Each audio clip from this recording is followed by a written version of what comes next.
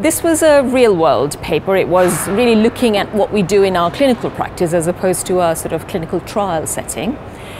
So um, hydroxycarbamide is, a, as an agent, is a drug that's been used in sickle cell disease for a few decades now and is thought to be really good um, and really helps improve um, all the kind of adverse effects of sickle cell disease.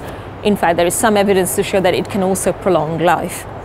Um, there is not really a great deal of consensus among clinicians as to how this drug is given, at what dose and what frequency and so on. Traditionally, all the trials done in America were done um, with very high dosing, so what's known as the maximum tolerated dose. So they're really given quite a lot of dose and dose, quite a lot of um, medicine, if you like, um, and uh, push the patient into a sort of semi-toxic level where you know if you push it a bit, a bit further, it gets toxic and you have to stop the treatment.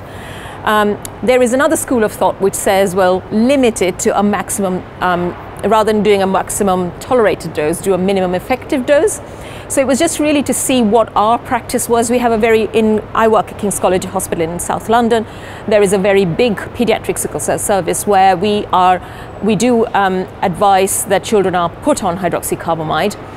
So we just wanted to look at a minimum effective dose strategy, which is effectively what we do at King's, and to look at sort of the outcome of the patients um, on the minimum effective dose strategy and see how it bears up against a maximum tolerated dose strategy.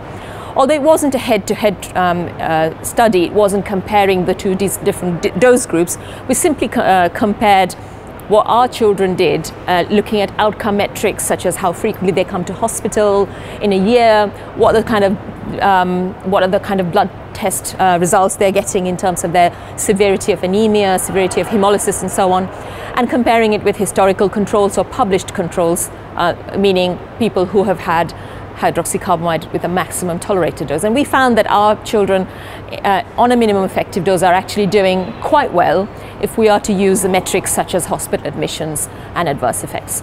So the message really was that actually, in fact, you know, it's not such a bad thing to give a minimum effective dose. But of course, are the metrics right? We don't know. We may never know.